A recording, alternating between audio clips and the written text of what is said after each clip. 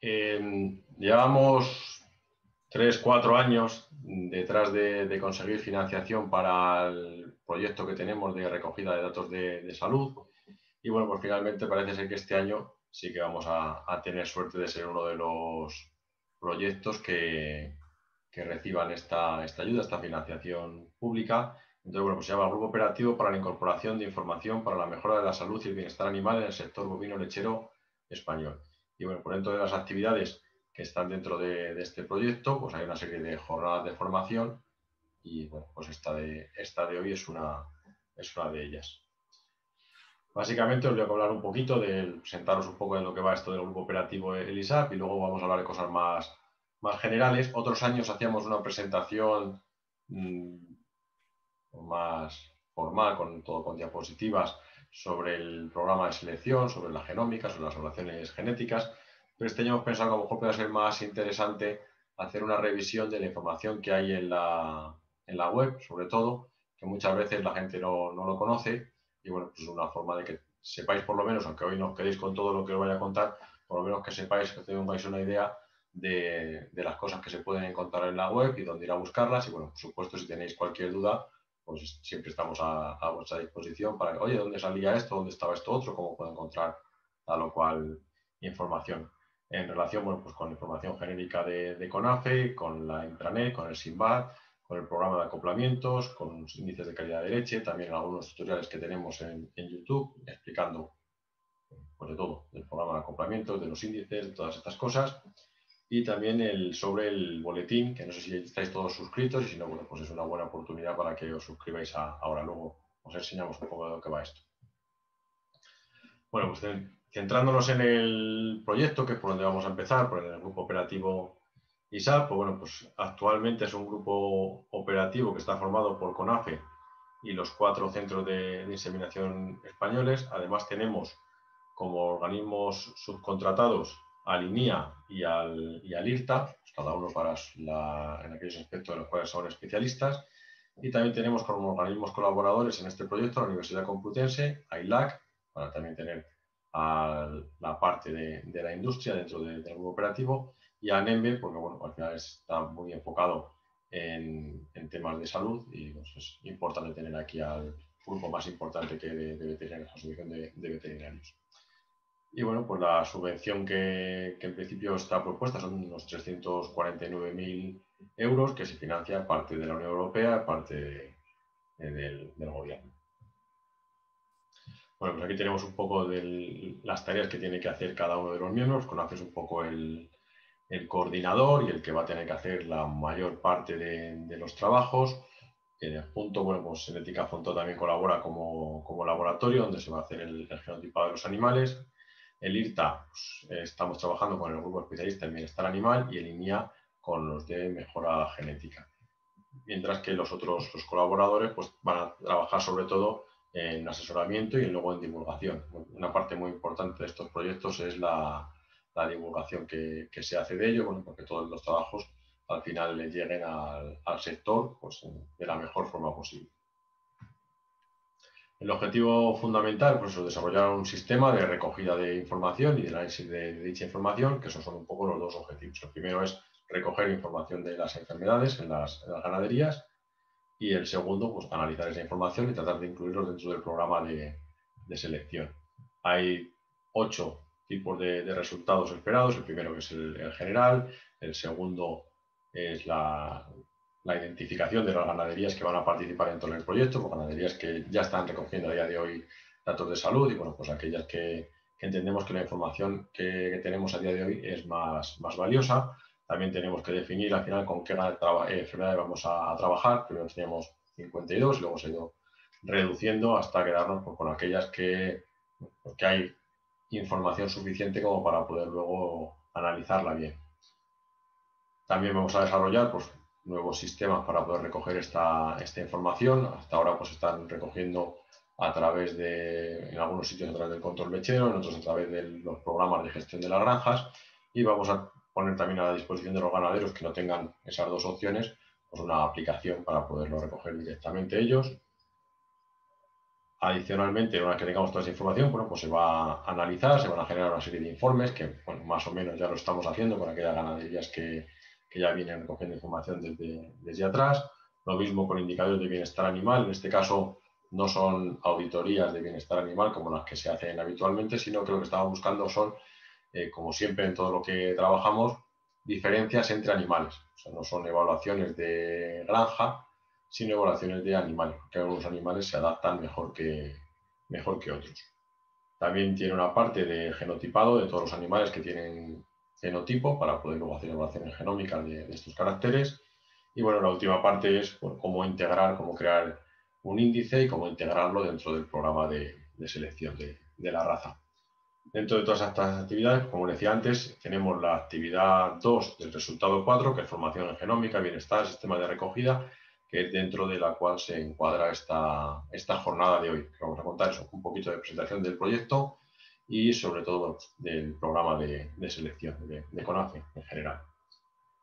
Como decía antes, en todos estos proyectos siempre hay una parte muy importante de, divulgación. Entonces, bueno, pues lo primero, las primeras cosas que hemos tenido que hacer es una parte de, la web de, Frisona, pues ahora la tenemos una pantalla dedicada a, este grupo operativo, al, ISAP, pues, dentro de la web de Frisona, pues aquí en ISAP, aquí vamos metiendo toda la información relacionada con, con este proyecto, que hasta ahora bueno, no, hay mucha. Hay la, presentación y bueno, pues otro seminario que, que, se dio hace unos días sobre bienestar animal y, y cojeras, que bueno, pues si tenéis interés también podéis acceder y podéis verlo porque está, está grabado y bueno, es bastante interesante. Pues toda la información relacionada con, esta, con este grupo operativo se irá incluyendo en esta, en esta sección de la, de la web.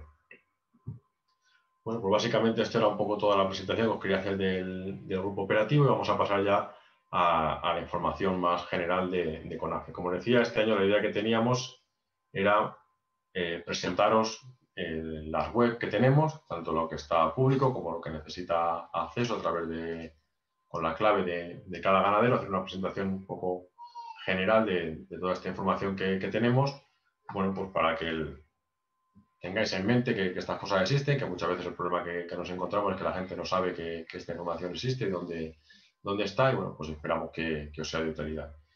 Lo primero, si os parece, vamos a entrar por el tema del, boletín, que no sé si estáis todos suscritos, pero bueno, si entráis en la web, aquí tenéis una opción, simplemente poniendo el correo y el nombre y el apellido, bueno, pues, eh, vais a recibir todos los martes, los miércoles, perdón, más o menos a media mañana, un correo electrónico con tres informaciones que creo que tenía por aquí un, ejemplo.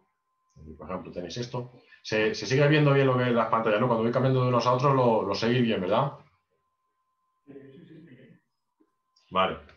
A veces se queda en la presentación, solamente se queda una pantalla y no, no me seguís cuando voy contando yo. Bueno, pues este es un ejemplo de un boletín, de un correo electrónico que se recibe, como digo, más o menos los miércoles a media mañana, los que os suscribáis que lo podéis hacer vía web o si queréis antes recoger como otros años la lista de los correos electrónicos, pues luego os damos de alta a todos a la vez.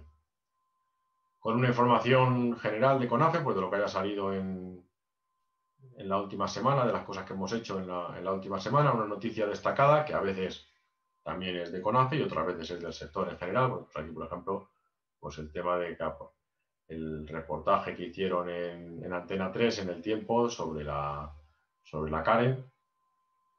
Y también metemos un artículo técnico, porque todos los que se, van publicando en la revista, en Frisona Española, bien sea en la último número o bien sea de, la hemeroteca, de lo que hay atrás, pues los artículos que consideramos que son interesantes, pues los vamos añadiendo aquí de uno en uno, bueno, pues para que cada semana pues la gente eso tenga una idea de pues, qué ha sido lo más importante que tenemos y que lo vea rápido y luego, bueno, pues cada uno en función de sus intereses, pues entrará en alguno de ellos o, no.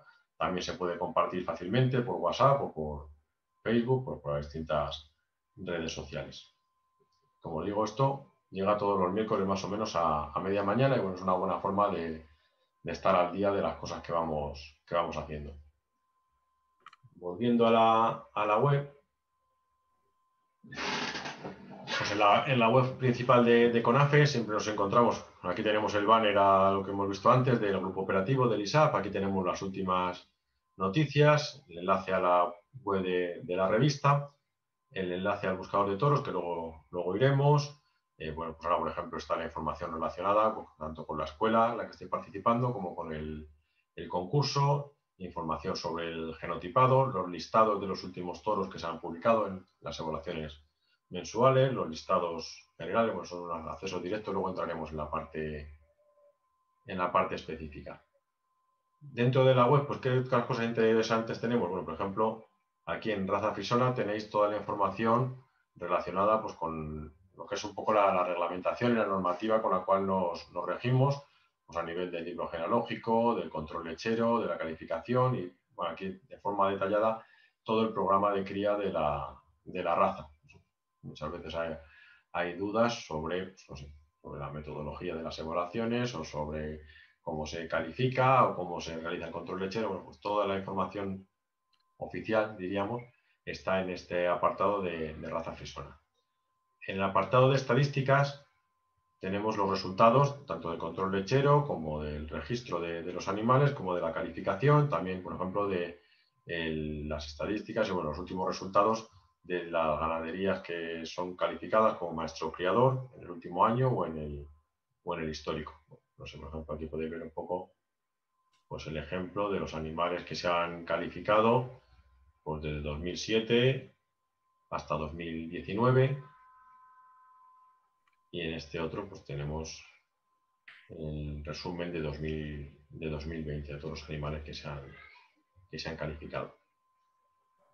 En el siguiente apartado de calificación morfológica, aquí lo que tenemos es una información general de, cómo se califican los, animales, de las distintas, los distintos caracteres que se evalúan, en la importancia que tienen y una infografía pues bastante intuitiva y bastante fácil de, seguir con, bueno, pues con cada uno de los rasgos y a qué tipo de animales eh, se le asigna una puntuación u otra. Esto también es interesante. En el siguiente, voy subiendo para arriba, tenemos el servicio de acoplamiento. Bueno, aquí hacemos una explicación un poco general del servicio de acoplamientos que pusimos en marcha el, año pasado, bueno, no sé si lo conocéis, pero bueno, básicamente consiste en hacer una evaluación de la ganadería. Creo que dentro de la escuela también vais a hacer este año alguna práctica de, acoplamientos. bueno, luego pasamos por donde está el programa, pero eso creo que lo vais a hacer mucho mejor ahí en, directo con los profesores de, la escuela. Este servicio de acoplamientos es para aquellos ganaderos que, bueno, pues que les cuesta trabajo el hacerlo ellos mismos con el, con el programa, porque el programa es, es, libre, está a disposición de todos, pero cuando hay algún ganadero que no quiere dedicarle ese tiempo o que tiene dificultades, pues ponemos a su disposición a una serie de técnicos habilitados que saben manejar el programa bien, van a hacer un análisis de la ganadería, que se lo van a presentar al ganadero, le van a contar un poco lo, que ellos ven, ven un poco los puntos débiles que tiene la ganadería en ese momento, tanto a nivel de los distintos caracteres como de, consanguinidad.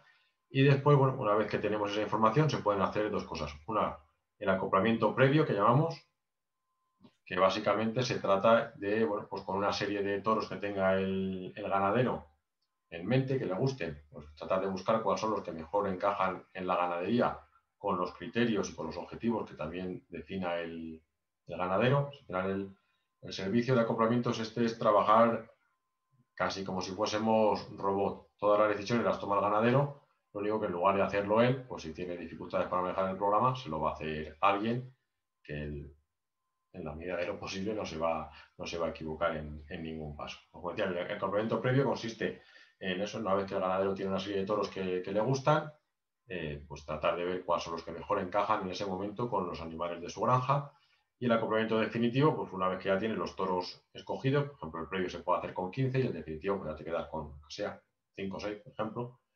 Eh, bueno, pues ya ve a cada vaca cuáles son los toros que mejor encajan, tratando de dar hasta tres opciones y bueno, pues ahora también se da la información en el resumen.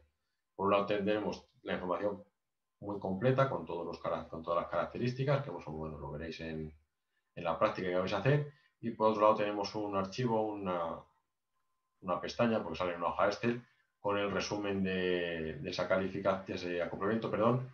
Y bueno, pues vais a ver el toro que entra como primera opción, como segundo, como tercero, el, nivel genético que aporta, que puede estar ponderado por la consanguinidad o no, y el nivel de consanguinidad que, da ese, ese acoplamiento también. En la siguiente pestaña, o el siguiente botón, tenemos el servicio genómico, pues aquí es donde explicamos el calendario, cuando salen las pruebas genómicas, los precios que tenemos actualmente y la información que incluye el, genotipado de los, de los, animales dentro del servicio de, de, CONAFE. Y en la parte de arriba tenemos las soluciones genéticas, pero bueno, esto iremos luego un poco más tarde. Vamos al siguiente botón, este de aquí arriba de, de CONAFE. Bueno, pues aquí tenemos un poco de información general de, de lo que es la, asociación, los departamentos, las acciones que la forman, todo el tema de cuotas, de tarifas, todas estas cosas un poco generales de lo que es una, asociación de, ganaderos, una confederación en, nuestro caso. En la parte de actividades, pues tenemos información de los concursos y también información, por ejemplo, de, estas escuelas de formación. En la agenda pues, las próximas, los próximos eventos. En este caso, pues que la escuela es el, el último que tenemos, el, el siguiente que, que, empieza hoy, luego ya tenemos el concurso y bueno, el resto de, eventos que hay programados. Y el último, la última sección, que también es interesante, bueno, pues es un repaso a la historia de, de, la, de, las vacas que han sido campeonas en los concursos nacionales, pues desde el año 1980. tenemos aquí una, foto de, cada una de, las vacas y aquí debajo el, palmarés. Aquí voy viendo, pues bueno, tenemos desde 1980 hasta la última de 2019. También es, esto no sé si estuvisteis en alguno de los últimos concursos nacionales, pues teníamos allí un póster muy grande con estas fotos y a la gente le, gustaba bastante y pues, me pareció interesante también incluirlo aquí en la, en la web.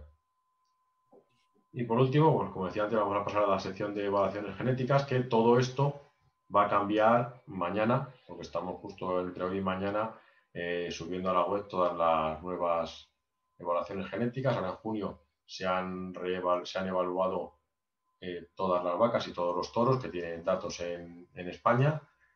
También se ha vuelto a hacer una evaluación genómica de todos estos animales, de los que tienen genotipo. Y por último, se ha fusionado con la información que tenemos de los toros extranjeros, tanto los que tienen prueba de descendencia, las pruebas MACE, como los que todavía no tienen prueba de descendencia, solo tienen prueba genómica en su país de origen, que son las que se llaman las pruebas GMACE.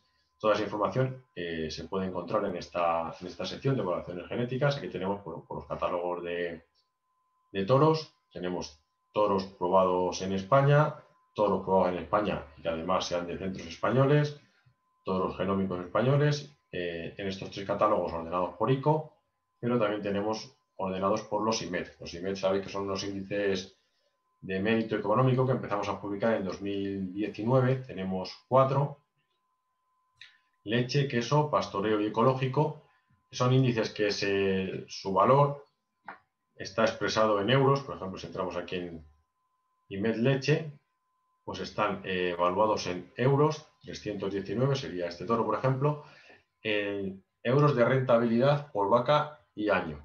Es diferente a otros índices económicos que hay en otros países que a lo mejor se hacen por la vida completa del animal. Aquí está hecho por vaca y por año. Luego hay que multiplicar por las lactaciones que, o por los años, eh, más exactamente, que, dura cada vaca. Cada uno de estos índices de leche, queso, pastoreo y eco están basados en, unas, en unos datos económicos un poco diferentes, fundamentalmente en el tema del queso, la diferencia que hay en aquellas industrias que sí que pagan la leche pensando en que va a tener un mayor valor sus sus para la fabricación de queso. En el caso del pastoreo, pues, teniendo en cuenta las condiciones que tienen estas ganaderías, por lo general digo que, su producción va a estar un poco limitada porque las vacas no son capaces de, de ingerir pastando toda la toda la la energía y la proteína que, necesitan para llegar a su potencial productivo que tendrían en una,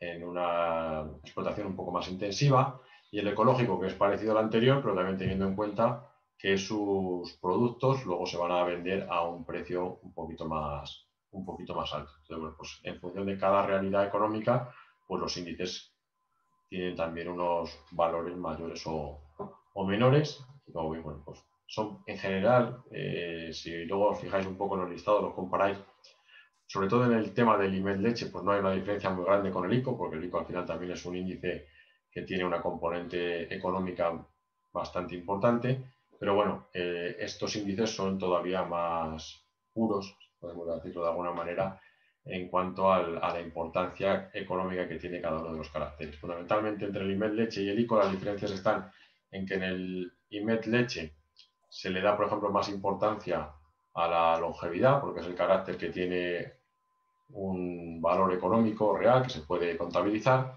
mientras que en el ICO eh, se le sigue manteniendo más importancia a las patas y a las ubres como una medida indirecta de, longevidad, pero que no tenemos un valor económico real. Una vaca que tiene en profundidad de ubre es más 1,8, pues no sabemos eso cuánto es más rentable que una que tiene 1,5. Sin embargo, una vaca que dura un día más, pues sí que se puede contabilizar exactamente eso, qué, impacto económico tiene. Es casi un poco la, la, diferencia más importante. También quizá en el IMED leche eh, tiene algún carácter más incluido, como por ejemplo el índice de capacidad, que en este caso eh, está relacionado con el, con el tamaño de los animales y bueno, pues a mayor tamaño también tienen los animales mayores necesidades de mantenimiento y por tanto, bueno, pues a igualdad del resto de caracteres, pues una vaca que sea un poquito más grande, si produce lo mismo, como tiene más necesidades de mantenimiento, pues va a tener un poquito menos de rentabilidad porque necesitamos eh, más gasto en, alimento para producir lo mismo. Te digo, siempre que, las dos vacas produzcan lo mismo. Además de estos catálogos nacionales, también tenemos las pruebas combinadas internacionales.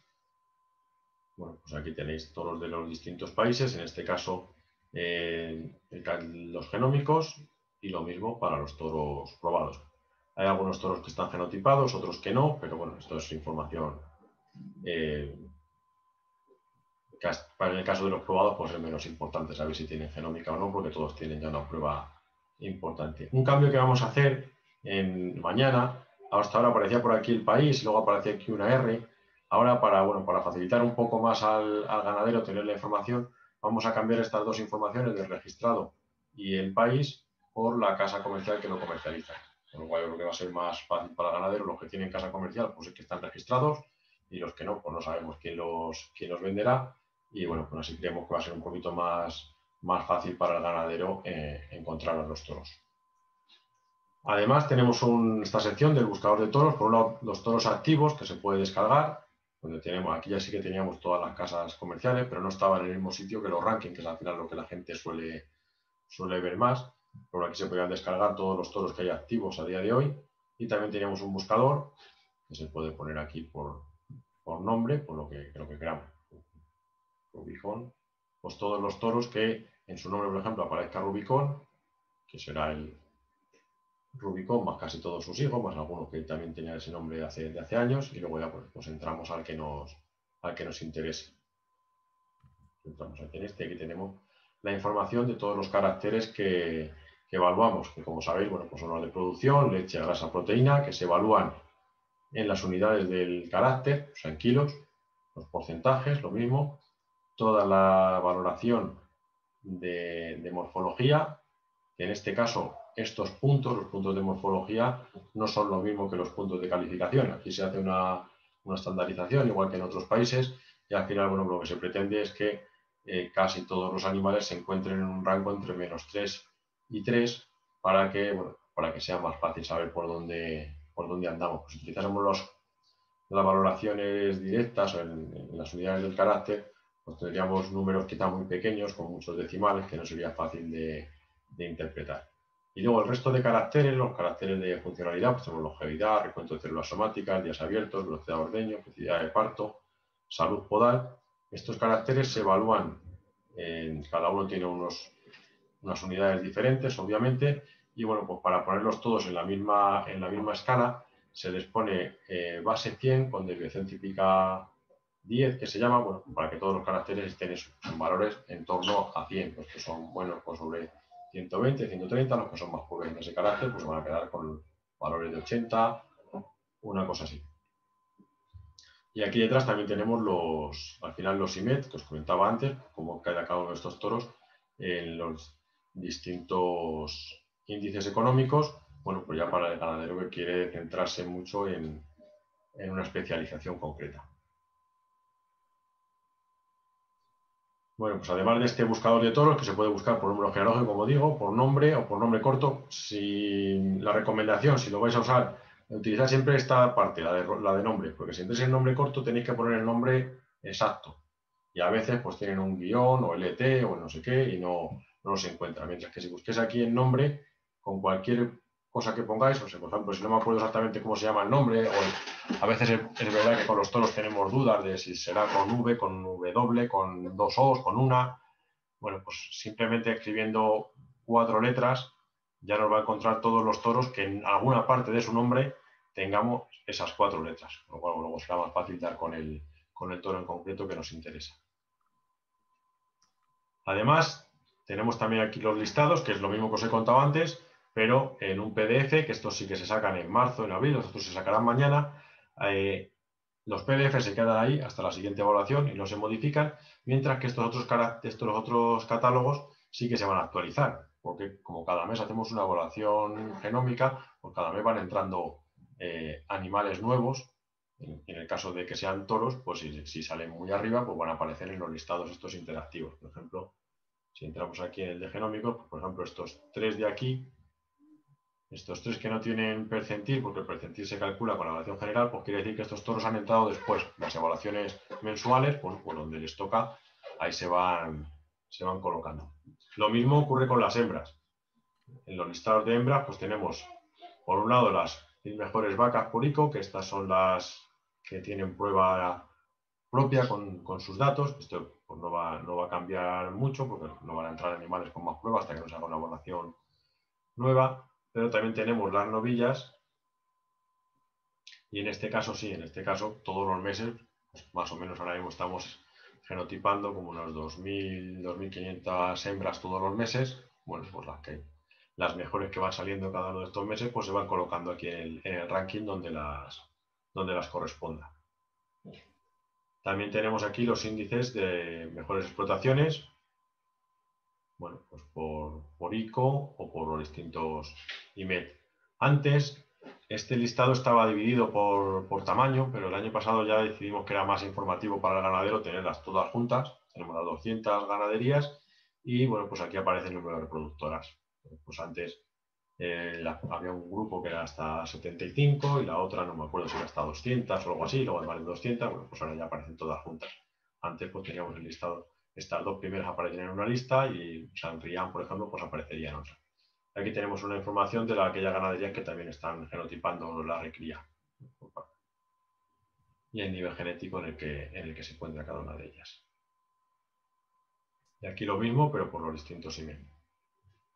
Para queso, para, para pasto, para lo que sea.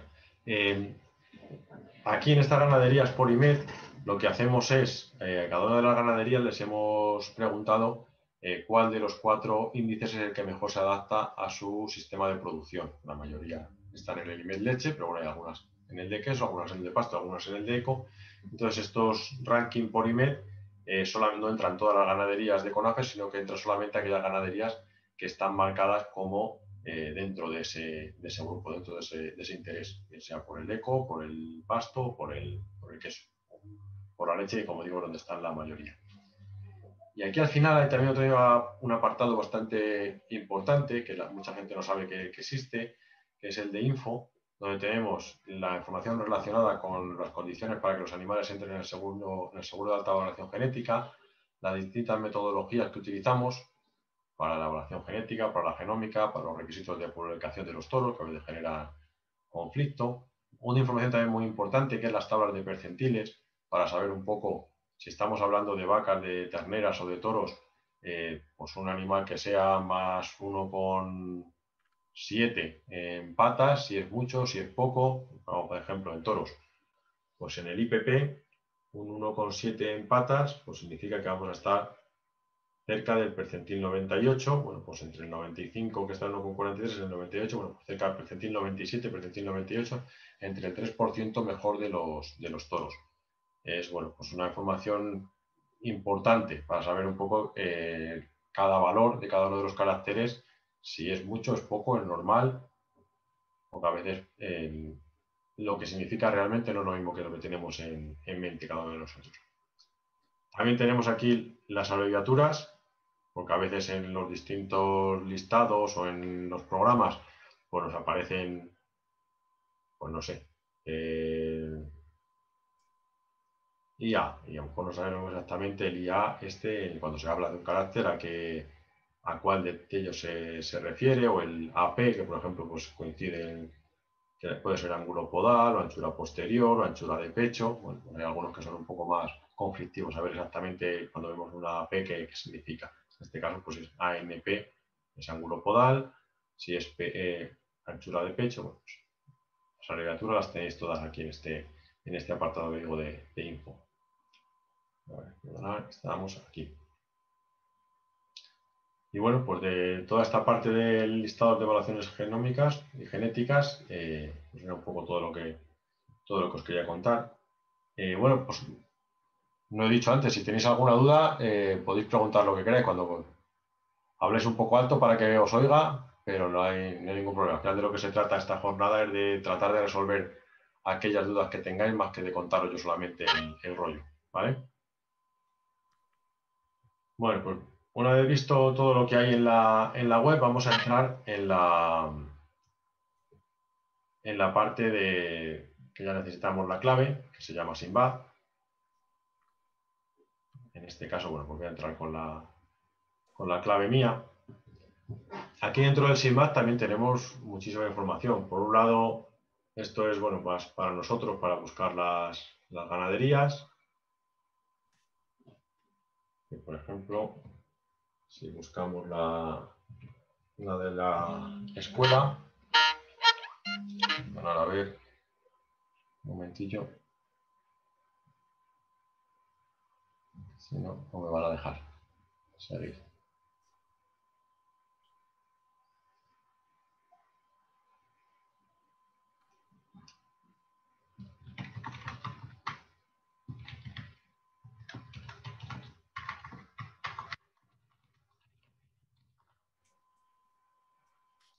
Bueno, como decía, si entramos aquí en la, información de la granja, pues aquí tenemos todas las, todas las hembras, bueno, un listado de los animales de la, ganadería. Por ejemplo, si cogemos esta, también podemos entrar en la parte de, información del animal en concreto, está aquí en consultar animales.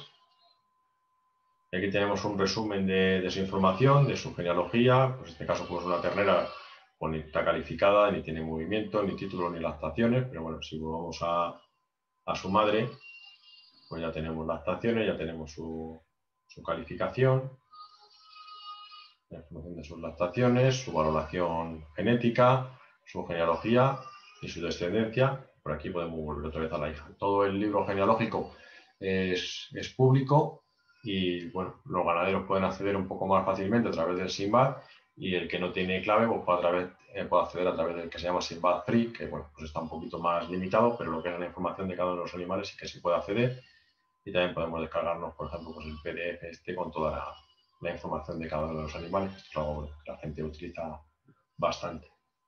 Además de esta información puntual de los animales, tenemos el apartado de, servicios, donde para cada ganadería nos podemos descargar eh, pues toda la información que necesitemos de índices genéticos, de genómicos, y solamente quieren los genómicos, calificaciones, lactaciones, censo o información de recesivos cuando los animales también están genotipados. También podemos acceder al apartado de, consanguinidad. Lo mismo, pues, por ejemplo, entramos en de la ganadería, de, la granja, de, las, la escuela. Nos calcula rápidamente dónde estamos, la media de la ganadería los animales que tenemos en los distintos grupos en los que se, divide y la evolución de los últimos años. Como veis, pues va aumentando bastante. En verde tenemos la evolución de CONAFE y en rojo la de la ganadería. Es normal que en ganaderías pequeñas pues siempre nos vamos a encontrar estas evoluciones que son un poco raras en, dientes de, sierra. Cuando vamos acumulando más animales, pues, bueno, pues todas las tendencias suelen ser más suavizadas, que se llama. responder más a una, una curva. También podemos descargarnos los datos de, genealogía, pues unas las generaciones que, queramos. Dentro del SIMBAD también tenemos información de, estadísticas un poco más, más generales.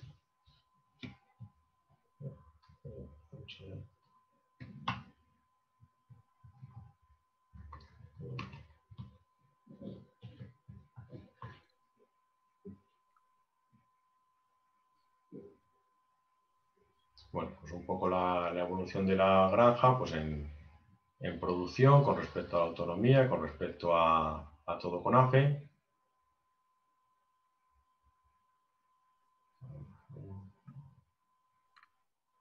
Lo mismo de, índices genéticos.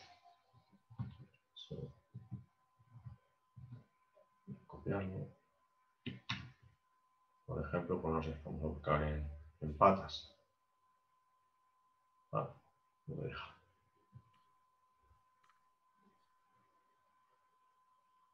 No sé si. Estaba antes entrando por aquí, lo mismo se me ha quedado algo bloqueado.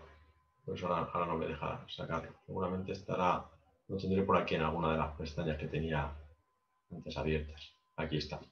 Bueno, pues aquí tenéis lo mismo un poco la evolución en, el nivel genético de, del IPP, de pies y patas, con respecto a la autonomía, con respecto a, todo con A. a ver si me acuerdo dónde, dónde estaba la pestaña. aquí está. Estadísticas. Se puede sacar también lo mismo directamente de, las calificaciones o de las estadísticas de recuento de células somáticas. Pero todo esto del recuento de células somáticas vamos a entrar luego más adelante en un apartado nuevo que es eh, mucho más completo. Bueno, pues a mayores de eso tenemos el CONAFEMARC, como decía antes, pues vamos a tener luego una explicación teórica y práctica mucho, mucho mejor allí presencial, pero básicamente es un programa de acoplamientos en el cual pues vamos a tener que escoger las vacas que queremos acoplar, los toros, y el programa cómo funciona es eh, haciendo la media de cada uno de los toros con cada una de las vacas para cada uno de los caracteres, que es exactamente lo mismo que calcular el índice de pedigrí de la futura ternera, si llegase a, nacer. Y bueno, nosotros le ponemos unos criterios, pues queremos que esa ternera cuando nazca eh, sea más que el valor que nosotros queramos en cada uno de los caracteres, o menos que, o entre dos, valores, por ejemplo, los caracteres de óptimo intermedio, pues, y que además por la consanguinidad no llegue a tanto, o que, bueno, todo ese tipo de limitaciones que nosotros queramos eh, para tratar de, en la medida de lo posible, eh, diseñar cómo queremos que sean los animales que nazcan en, la siguiente generación, al año que viene, dentro de nueve meses, en menos de los casos. Y básicamente la mecánica siempre es la misma, es escoger las vacas, escoger los toros, fijar unos criterios y realizar el acoplamiento. Aquí en la parte de ayuda tenéis el manual de acoplamiento básico, que creo que es el que vais a, a seguir, le podéis descargar de aquí, el manual del CONAFEMAC, que es un poquito más, más amplio, y luego también dentro de, YouTube tenemos eh, bastantes, algunos vídeos, vamos, algunos tutoriales. Los últimos, estos que están aquí abajo, son sobre el programa de acoplamientos. Bueno, pues si acaso tenéis que recurrir, tenéis la, lo que os cuenten los profesores, más el manual que, como digo, vais a poder descargar desde el propio CONAFEMAC, que es un PDF con con dos, hojas, muy, muy sencillito. Ese mismo PDF está explicado aquí en este tutorial de acoplamiento básico. Hay otros dos tutoriales con un poco más de, detalle, más avanzados. Uno para el acoplamiento, hacer acoplamiento completo, que quiere decir que vamos a meter todos los caracteres. En el básico solamente se meten los, principales. Y el otro tutorial donde añadimos la información de cómo hacer un acoplamiento para un lote específico de animales y cómo cambiar la función de selección. Al final, el, para escoger el toro que ponemos como primera opción, pues puede ser dentro de los que cumplan con todos los criterios que, hemos puesto, pues el que tenga más ICO o el que tenga más IMET o el que tenga más mejor en patas o crear nosotros nuestro índice propio. Pues hay gente que le gusta y dice, oye, pues yo quiero algo parecido al ICO, pero le quiero dar más peso a las patas y a las ubres o más a la fertilidad o a, lo que tú quieras. Pues también, se puede, también se puede hacer. Además de estos tutoriales del programa de acoplamientos, pues tenemos otro, por ejemplo, explicando el servicio de, complementos, todo lo que os he contado antes muy rápidamente, bueno, por aquí está un poquito más, más detallado. También hablamos de cómo funciona el servicio de, genotipado. Hablamos de la información que reciben los ganaderos cuando, cuando genotipan, tanto a nivel de índices como a nivel de, caracteres especiales, que esto, bueno, si queréis luego podemos hacer también un, repaso al, al final. Hablamos un poco de los índices de selección, todo eso que os he contado antes, del ICO, de los IMED, para cómo, cómo se calculan y qué utilidad tiene cada uno de ellos. Hablamos también un poco de todos los listados, pues también lo que es, quizá con algo más de detenimiento que lo que os he contado hoy, la información o los toros que entran en cada uno de los listados y por qué entran en unos sí y en otros, en otros no. Otro en el cual contamos también un poquito el, lo que se ha avanzado antes de las tablas de percentiles, un poco donde hay que buscar las referencias para saber si los animales son buenos, malos o regulares en cada uno de los caracteres, teniendo en cuenta qué tipo de animal son, si es una novilla, si es una vaca o si es, si es un toro. Otro tutorial donde explicamos un, archivo nuevo que los que tengáis ganadería pues habréis empezado a recibir el año pasado con un resumen del valor genético de todos los animales de vuestra ganadería, que es una tabla de Excel creemos que es muy útil para poder ordenarlo, seleccionar. Pues no sé, ahora, por ejemplo, sí que se puede realizar un poquito más de selección en granja que lo que había antes, por ejemplo, con el tema del semen sesado o la que queréis mandar para carne, o para todas esas cosas. Eh, cada vez que se genotipa un animal o cada vez que se hace una evaluación genética general, se recibe este informe en el, en el correo electrónico, una hoja de Excel, donde pues, podéis jugar un poco con los filtros, a escoger los animales que queráis, también podéis ver un poco las tendencias genéticas de la ganadería. Y bueno, el último es un poco la explicación de las pruebas del año pasado y bueno, pues para este pues también tendremos que hacer uno de aquí unos, unos días con los, con los cambios que los que hemos estado trabajando durante los últimos meses. Bueno, pues esta es la sección de, de YouTube de tutoriales de, de Frisona y de, de, Conafe.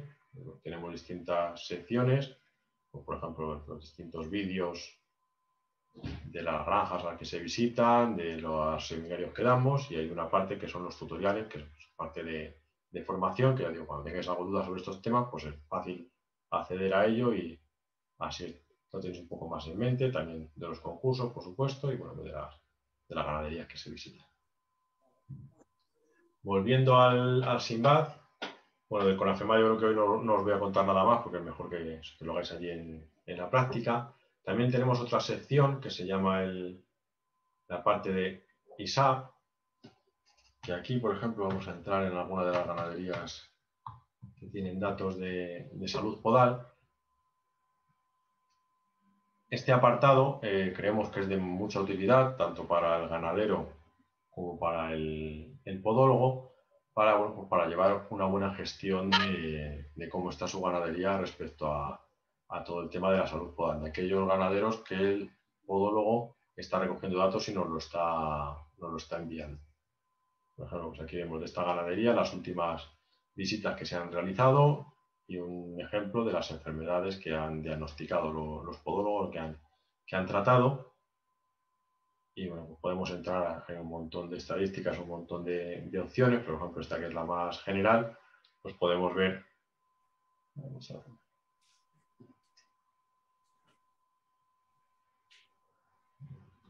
el periodo. Bueno, pues aquí tenemos una idea de cómo se encuentra la ganadería en cuanto a animales que estén sanos, animales que se ha detectado que tienen algún tipo de, lesión. Aquí arriba las estadísticas de los animales que había en la, granja en este periodo. Si se trata de la primera vez que se diagnostica esta lesión o son animales que ya tienen lesión crónica, el, porcentaje que tenemos, pues en este caso, pues de hematitis, úlcera de suela o línea blanca. Aquí tenemos la evolución a lo largo del tiempo, pues de dermatitis, que bueno, pues parece que antes había más problemas que la media de la autonomía, y sin embargo, bueno, pues lo han ido corrigiendo. En el caso de úlcera de suela, pues parece que la evolución también va siendo positiva, y en el caso de línea blanca, pues también parece que la evolución en los últimos años pues se va, siguen teniendo más casos que los que hay en la ganadería de su entorno, pero bueno, cada vez van teniendo menos, van acercando un poco más a, los valores normales, sin embargo otras enfermedades pues no, no aparece, aquí en, en pues ocurre lo mismo. Bueno, pues esto, aquí hay un montón de distintas estadísticas, incluso se puede hacer un análisis de, de costes, de bueno, pues cada una de estas lesiones, qué impacto económico tiene la granja y por tanto, bueno, pues si interesa eh, tomar medidas preventivas o no. Y el último apartado dentro del SIMBAD es este de calidad de leche. Por ejemplo vamos a entrar en la, en la granja de la escuela.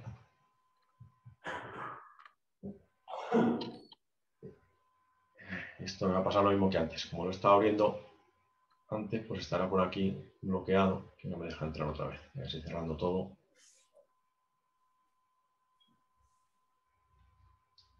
Sobre este apartado en concreto de, calidad de leche, hay también uno de, un vídeo de uno de los seminarios que se dio por los que lo han hecho, que saben mucho más que yo, desde luego.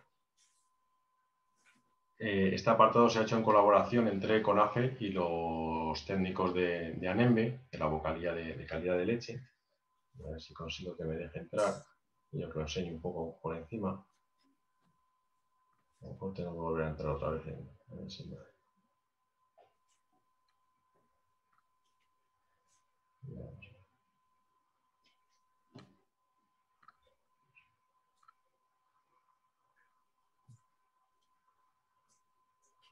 No, no me deja entrar.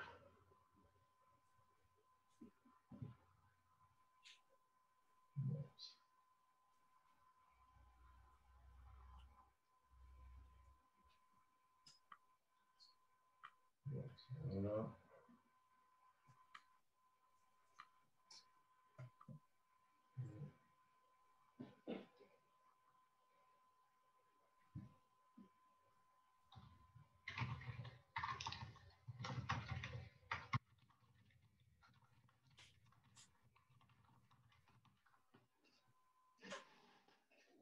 Haciendo una prueba antes de, empezar la charla y sí que podía entrar bien, pero ahora no, sé si a lo mejor están cargando algo. Justo estos días, como estamos con el tema de la evaluación, pues están empezando a subir cosas y no sé si ese puede ser el, problema por el cual no me deja ahora.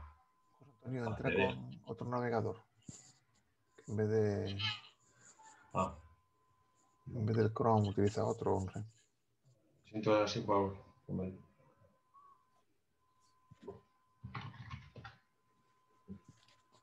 ¿Lo seguís viendo? ¿Por dónde voy ahora?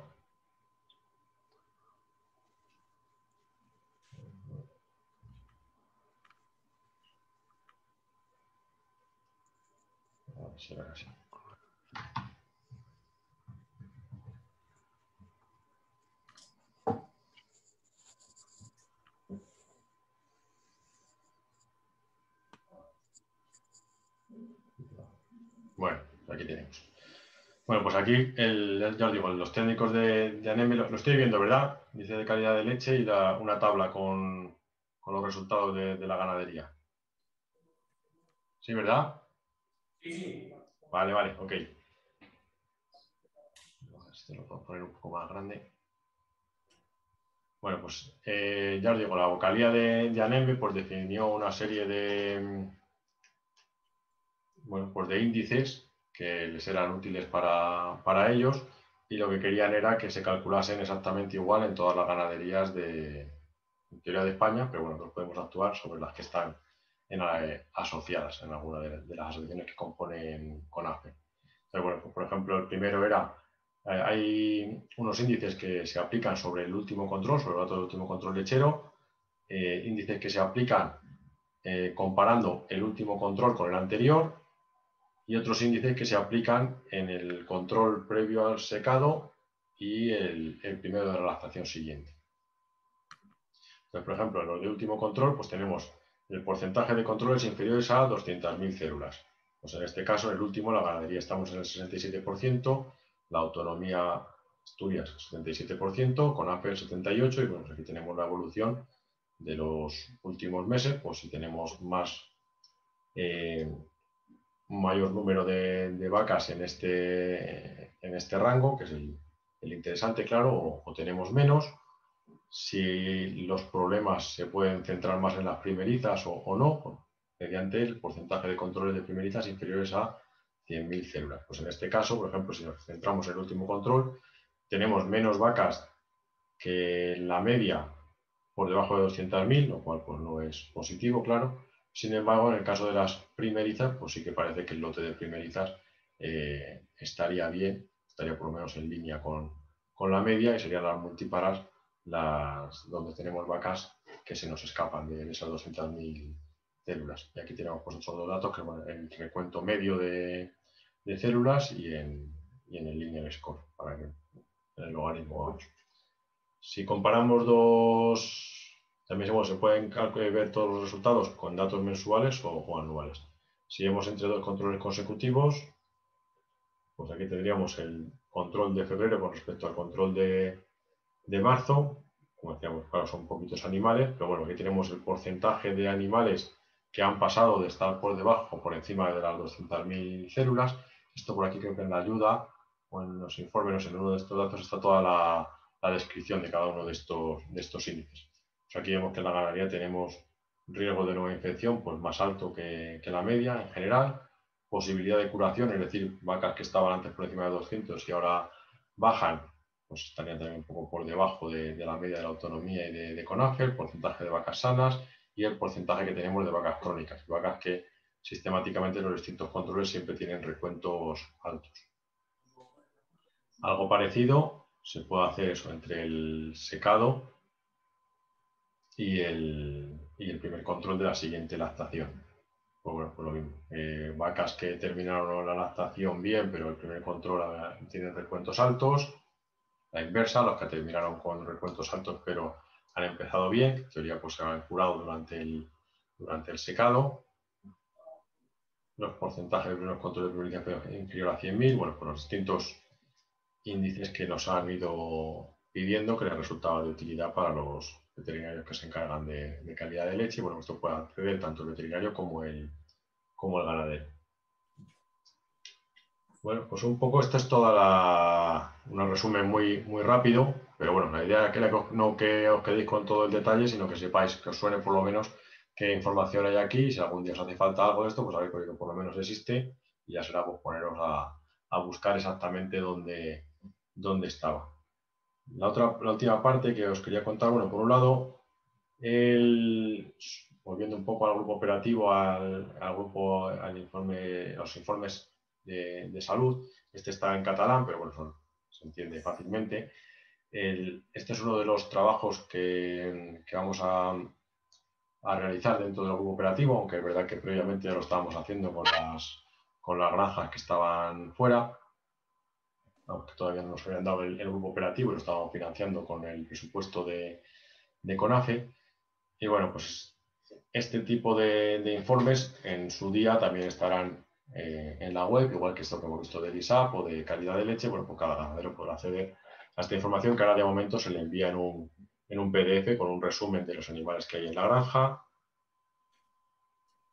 los que tienen patologías Aquí tenemos por la incidencia de cada una de las enfermedades, por retención de placenta, metritis, mamitis, cetosis, cuajar y bueno, cetosis clínica o riesgo de cetosis, que esto es medido mediante los análisis de, de BHB. Aquí vemos la comparativa de la granja en el último trimestre y el trimestre anterior. Estos informes se generan para cada una de las ganaderías que envía datos eh, pues cada, tres, cada tres meses Además, pues tenemos información de cada una de las enfermedades, pues cómo andamos con un semáforo, de si estamos por encima por debajo o en torno a los niveles de referencia que hay en la, bibliografía, de los índices que sean, eh, digamos que lo normal o lo, asumible.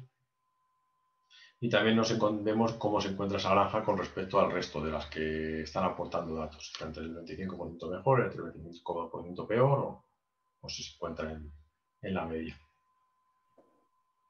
También podemos analizar si las distintas patologías eh, las tenemos más o menos presentes en las primerizas o en las, multíparas. Dentro de este trimestre, si ha sido un problema puntual en uno de los tres meses, o es algo que está más o menos generalizado en los, en los tres, tenemos las distintas enfermedades y, por ejemplo, en este caso, pues la mamitis teníamos sobre todo en diciembre, en octubre, no viene un poco menos, pero bueno, ya se puede decir que es algo eh, bastante general durante todo el trimestre, que es lo que, suele ser lo, habitual. Eh, retenciones de placenta, pues por ejemplo en diciembre no hubo ninguna y casi todas donde más había era en, noviembre. Y aquí tenemos las relacionadas con el control lechero, con los recuentos que, que hablábamos antes. También se hace un análisis del inicio de la lactación, pues cómo arrancan, cómo empiezan la, producción en esta granja con respecto al resto, eh, las vacas cuando empiezan a producir, que es un poco al final donde vamos a ver el, efecto más importante de si hemos tenido patologías o, no. Y la última parte de este informe incluye pues, las distintas causas de baja y los porcentajes, pues, para analizar un poco eh, si estos problemas que podemos tener de, salud al final se acaban traduciendo en un mayor número de bajas por estas causas o no en la, ganadería, que también, obviamente implica un, un coste importante.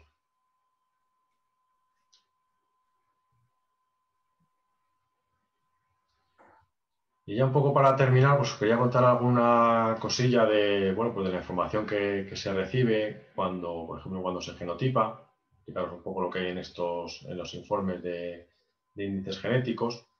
En primer lugar, lo que vamos a tener siempre es el control de la de filiación, el parentesco con el padre, con la madre. Cuando tenéis este tic aquí significa porque hemos podido verificar bien directamente porque el padre o la madre estén genotipados, genotipados o indirectamente porque tengamos el abuelo y el bisabuelo y podamos, el abuelo y el bisabuelo genotipados, quiero decir, y podamos verificar si ese genotipo que hemos recibido en una ternera encaja con su abuelo y con su bisabuelo o no encaja, pues en el caso de que encaje, vamos a dar la madre por buena. Si el abuelo o el bisabuelo vemos que no cuadran, pues la madre la pondremos en duda o como incorrecta, bueno, habrá que, habrá que ponerse a arreglarlo. Un aspecto importante de las pruebas genómicas es que nos permiten arreglar casi, casi todos los errores que nos encontramos. Básicamente, y además es muy sistemático, todos los meses de todos los animales que se genotipan vamos a tener un 10% de, de errores, bien del padre, de madre, de abuelo, de, quien sea. De ese 10% de errores, eh, pues 8 o 9 de cada 10 se consiguen solucionar y hay un 1% que al final pues, es casi imposible al animal pues, acabar mandándole auxiliar o no acabamos de saber exactamente qué es lo que ha podido pasar. Pero sí una parte importante de, de lo que nos ha aportado la genómica es que conseguimos arreglar muchísimas genealogías y esto es importantísimo para un programa de selección porque de todos los datos que se recogen en la granja, la genealogía es con diferencia el más importante. Porque si la genealogía está mal, todo el resto de información que tenemos de control del chero, de calificaciones, de salud, de lo que sea, lo vamos a estar asociando a animales incorrectos. Con lo cual, en lugar de meter información al sistema, le estamos metiendo ruido. En lugar de hacer una buena evaluación de ese animal y de todos los que tengan alguna relación con él, pues le vamos a meter más, más ruido. Vamos a, eh, cuando la genealogía está mal, es mejor no tener datos a tener datos que, vayamos a ligar con los animales incorrectos. Entonces, bastante importante, pero no todos, no siempre lo tenemos esto en, mente. Aquí arriba también tenemos una recomendación que seguramente no sea lo más lo más fino de las cosas que hacemos, pero bueno, era una cosa que nos pedían los, algunos ganaderos, que le diésemos un poco una recomendación de si el animal era bueno, malo o regular. Claro, eso depende mucho de cada ganadero y de, qué animal se ha genotipado en ese momento. básicamente lo que hemos hecho ha sido basarnos en el ICO, que habrá algunos ganaderos que les guste y otros que no, pero bueno, para hacer una recomendación general lo hacemos en el ICO.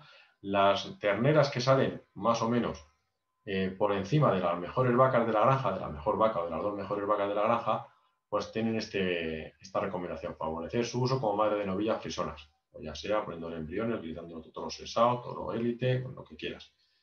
Si la ternera que nace y se genotipa está por debajo de la media de las vacas, ponemos lo contrario, porque no es un animal que haya salido muy bueno a nivel, ya digo, siempre pensando en el ICO y pensando en que ha nacido en este momento. Si hubiese nacido hace dos años sería otra cosa. Eh, si sale peor que la media de las vacas, pues es las que ponemos que, porque a lo mejor no es el animal más adecuado para dejar descendencia. Si queremos hacer selección por ICO, repito.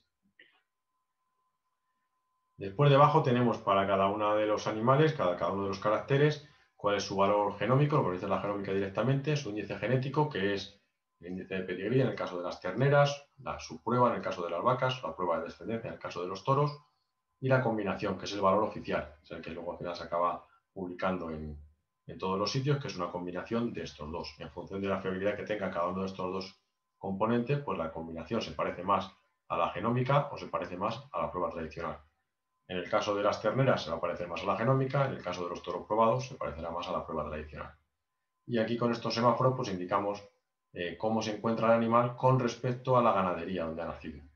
Con respecto al resto de su ganadería, pues si en este carácter está entre los mejores, aparecerá en verde, o si está entre los peores, pues aparecerá en, rojo, para tener una idea de cuáles son los puntos débiles de cada uno de los animales. En la parte de atrás de estos informes también tenemos toda la información de, recesivos, donde tenemos pues, varias enfermedades, varios haplotipos, estos suelen estar la mayoría desde el HH1 hasta el HH7, estos están relacionados con la fertilidad, con, con abortos, que cruzamos dos animales que sean portadores de uno de estos haplotipos, en un 25% de los casos nos vamos a encontrar con que la vaca va, a abortar. En el resto de los casos, eh, no, o sea, no, es, algo que, suceda siempre, ni que por tanto suceda en un porcentaje de veces muy, muy alto, pues tiene que ser la casualidad de que el padre y la madre sean portadores y además tener la mala suerte de que eh, el alelo portador llegue al, embrión, pero bueno, pues un 25% de las veces que acoplemos dos animales portadores de lo mismo, nos vamos a encontrar con el problema. Y esto es muy, muy fácil de solucionar simplemente utilizando un programa de acoplamiento donde esté esa información, como es el, caso del CONAFEMAR. Simplemente marcando en el CONAFEMAR evitar haplotipos, evitar recesivos, pues tenemos este problema resuelto, no tenemos que calentarnos la cabeza nada más. El HH0 se trata de la braquiespina, que en realidad es una enfermedad de esta, pero bueno, por problemas de royalties y de que hay que pagar y tal y cual, pues bueno, está metido aquí en, los haplotipos.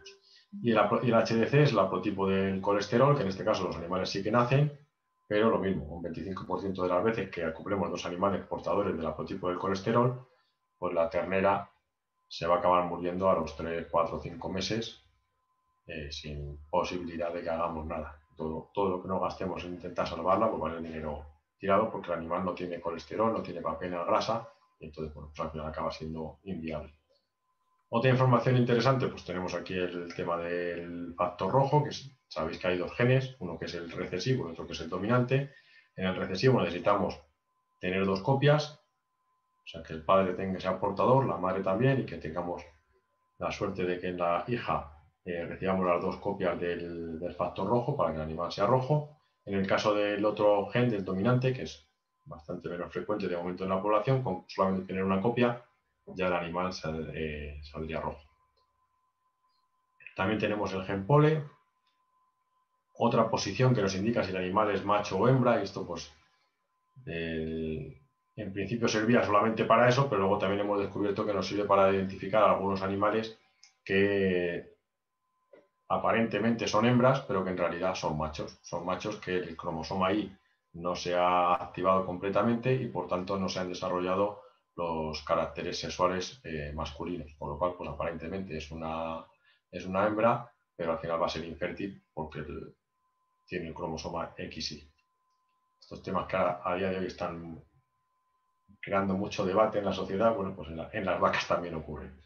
Eh, en cuanto a las proteínas lácteas, bueno, pues tenemos la beta-caseína, la capa caseína, la beta-lactoglobulina. Ya sabéis, la beta-caseína estamos con la moda esta de que veremos a ver en qué, en qué termina, si al final se acaba comercializando leche a 2 a 2 o cuánto tarda en llevarse a cabo. Nuestra recomendación para los ganaderos desde hace ya muchos años es, bueno, pues a igualdad de condiciones, pues intenta ir aumentando el a 2 a 2 por lo que pueda pasar, sin volverse loco, pero creemos que sí que será bueno por si el día de mañana hay alguna diferencia por parte de la industria, la capa caseína más específica para el tema de, del queso. Bueno, pues este, tenemos aquí distintos ejemplos de animales de que salen, pues, pues, por ejemplo, en este caso, pues un animal que es incompatible de padre y la madre sale dudosa, porque seguramente el genotipo del padre y del abuelo pues no acaban de, encajar. En este caso, a los animales le mandamos al ganadero le mandamos un informe con el valor genómico directo, con lo que nos ha dicho la genómica de esa muestra, pero ni siquiera tenemos la certeza de que esa muestra pertenezca a, este animal. Porque si el padre no cuadra y la madre seguramente tampoco, pues a lo mejor ha habido un cambio de muestras o, lo que sea. Entonces envía la información genómica y una vez que se arregla la genealogía, ya sabemos que pertenece exactamente a ese animal, pues ya se, saca la valoración oficial que se publica y que, se combine. Esto es simplemente una información preliminar para el ganadero. Bueno, pues aquí tenéis un poco el trabajo que lleva detrás luego el arreglarlo. Pues aquí tenemos para distintos animales si el genotipo es compatible o incompatible con el padre, con la madre, si encaja con los abuelos, con los bisabuelos, si encontramos algún animal que sea compatible, si encontramos algún abuelo que pueda ser el más probable, eh, si encontramos a la madre, bueno, pues todos los meses tenemos un archivo bastante grande con toda esta información que se transmite a las distintas asociaciones para que a su vez, junto con el ganadero, pues traten de arreglar toda esa genealogía como os digo, pues casi todos los casos se pueden arreglar con, toda esta información que somos capaces de, extraer del, genotipado. A veces hay que dar un par de vueltas hasta que damos por el, con el tema, pero al final se consigue arreglar mucho y es bastante importante para programa de selección. Este es el informe que os comentaba antes, que se envía ahora cada vez que se genotipan los animales o cada vez que se hace una evaluación general, pues se va a recibir un informe como, como este. En este caso, una ganadería que ha genotipado el último mes siete terneras, pues nos van a aparecer aquí en amarillo las siete terneras que se han mandado a genotipar. Y aquí tenemos para cada uno de los caracteres el valor genético de sus animales. En el caso de vacas, vamos a tener también su producción vitalicia a día de hoy, su calificación final.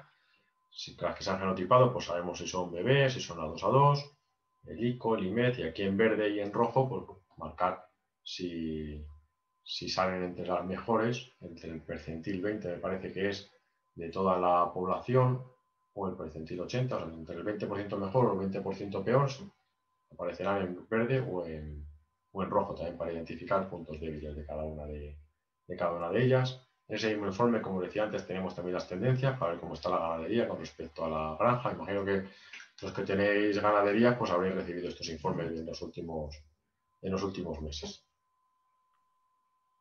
Bueno, aquí tenemos un poco de información sobre el tema del genotipado.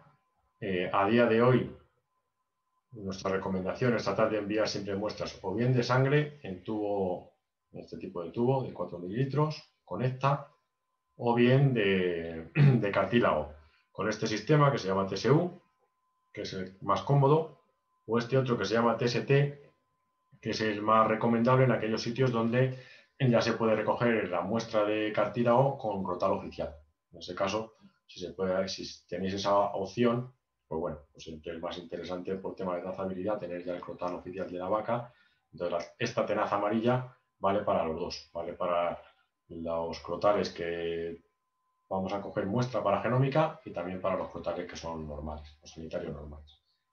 Eh, todas las muestras que nos llegan con estos tres, uno de estos tres tipos de, sistema y que no tienen errores de genealogía, pues tienen descuentos. Luego el coste de la genómica sale un poquito más barato que los que mandan en otro sistema o los que tienen errores de genealogía.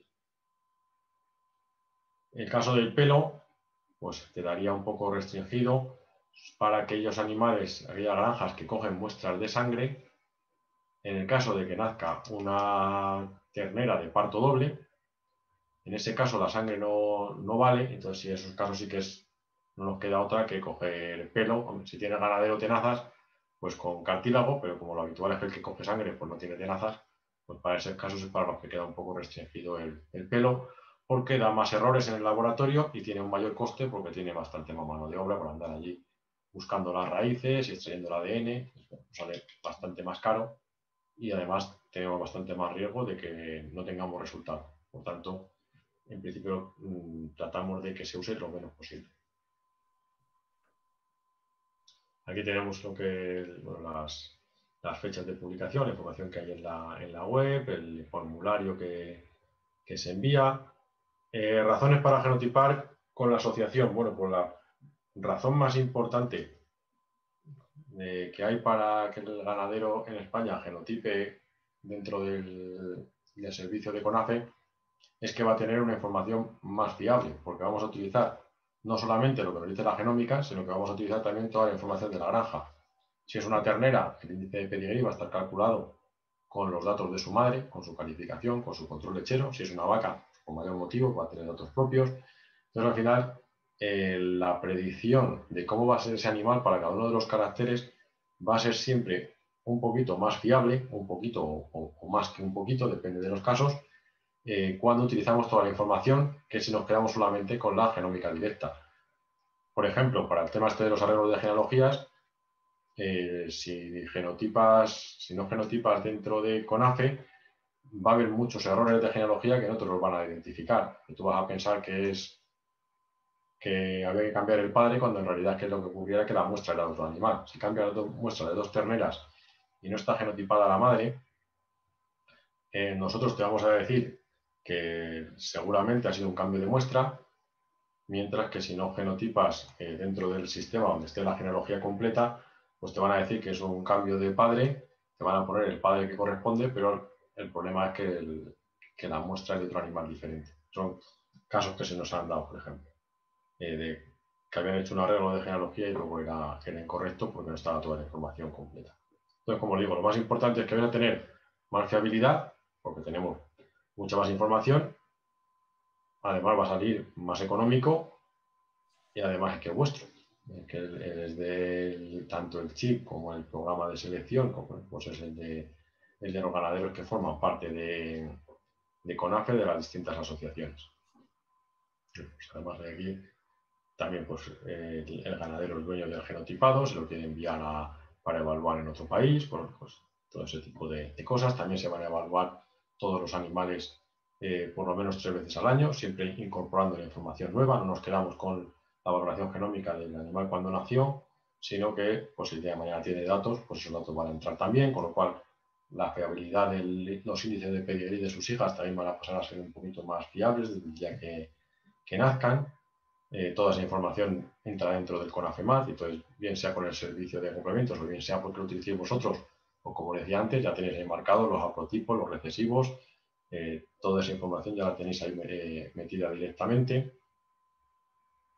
Y bueno, pues siempre que se mm, metan caracteres nuevos, por ejemplo, si ahora empezamos a sacar valoraciones de, salud o de eficiencia, que es lo siguiente que tenemos un poco ahí en mente, todos los animales que estén genotipados automáticamente van a tener valoraciones de estos, de estos caracteres nuevos lo mismo, si, empiezan, si se descubren recesivos nuevos que se meten dentro del chip, pues también van a estar disponibles para todos los ganaderos que han genotipado. Bueno, esta es la parte del servicio de acoplamiento que os he contado antes, que creo que es interesante para aquellos ganaderos que tienen más dificultades para manejar el, programa. El informe, este es un tipo de informe de los que partimos para identificar esos los puntos débiles. Y aquí vemos, por ejemplo, la salida, pues cómo entraría cada uno de los toros, con qué porcentaje de hembra. Esto es un acoplamiento previo, en el cual eh, lo que hacemos es tratar de identificar cuáles son los toros que mejor encajan en la, en la granja. Bueno, pues aquí vemos cómo entra cada uno de los toros y cómo entra como primera opción, porque a veces hay dos toros que entran muy bien, pero entran con las mismas y luego nos quedan otras novillas con las cuales no encaja ningún toro. O sea, ahora como informamos de cuál es el que entra como primera opción, pues si coges aquí este que entra con el 21, el 14 y el 12, pues sabes que tienes un porcentaje alto de, de novillas o de vacas eh, acopladas. Y en los definitivos, por lo que os contaba antes, aquí tenemos un poco con cada vaca cuál es la primera opción, la segunda, la tercera, cómo entra con respecto a la función. En este caso, puede ser una función que ha escogido el ganadero y que además está ponderada ya por la consanguinidad y la consanguinidad que nos aporta cada uno de los, de los toros. El tutorial que os he contado antes, bueno, pues este era un poquito el, el resumen de todas las cosas que, tenemos. Y bueno, por no sé si alguno tenéis alguna, alguna duda. Yo por mi parte, esto era un poco todo lo que os quería, lo que os quería contar hoy.